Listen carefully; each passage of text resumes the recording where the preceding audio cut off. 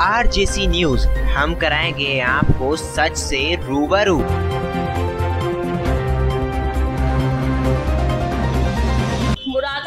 Socialist union centre of India communist party की जिला इकाई के नेतृत्व में जिलाधिकारी मुरादाबाद कार्यालय पर शांतिपूर्ण प्रदर्शन के माध्यम से पार्टी ने अपने प्रत्याशी का नामांकन जिलाधिकारी मुरादाबाद लोकसभा द्वारा तकनीकी आधार पर बेहतर अविश्वसनीय दृष्टि को आधार बनाकर तथा डबल ईवीएम बचाने के लिए एक कदम फिल्मी अंदाज में बिना किसी सुनवाई व मौका दिया। तानाशाही दिखाते हुए निरस्त करने पर कड़ा रोष प्रकट करती है। हमारी पार्टी का स्पष्ट मानना है कि रिटर्निंग ऑफिसर का ये निर्णय। न सिर्फ़ भारतीय निर्वाचन आयोग द्वारा जारी दिशा निर्देश का खुला उल्लंघन है बल्कि हमारी पार्टी के प्रत्याशी के लोकतांत्रिक अधिकार का हनन है।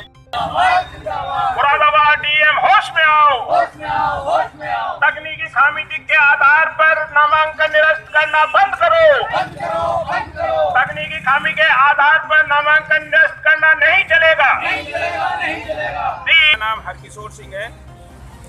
आज का ये हमारा जो शांतिपूर्वक विरोध प्रदर्शन है, जैसा कि आप लोग जानते हैं कि हमारी पार्टी एस कम्युनिस्ट के प्रत्याशी कॉमरेड विजय पाल सिंह जी, जिन्होंने सिक्स मुरादाबाद लोकसभा क्षेत्र से अपना नामांकन किया था, उसको कल जिलाधिकारी और यहाँ के रिटर्निंग ऑफिसर डीएम साहब ने बिना किसी ठोस आधार के निरस्त कर दिया।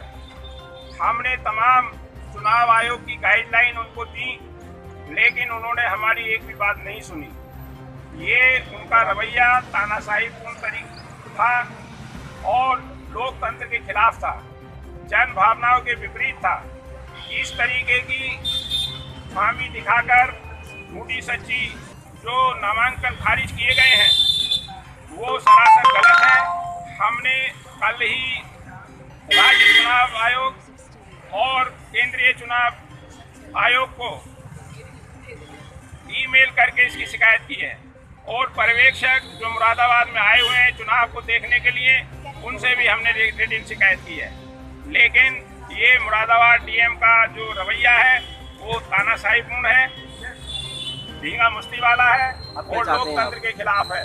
हम ये चाहते हैं कि हमारा जो नामांकन बिना किसी ठोस आधार के और जो चुनाव आयोग की गाइडलाइन है, उसके विपरीत जाकर जो खारिज किया गया है, उसे स्वीकार किया जाए, उसको बहाल किया जाए और हमें जो चुनाव लड़ने से जो रोकने की साजिश रची जा रही है, इसको हम मुखालफत करते हैं, इसको जो है निरस्त किया जाए और जो जिलाधिकारी महोदय हैं, इनके खिलाफ कार्रवाई की जाए।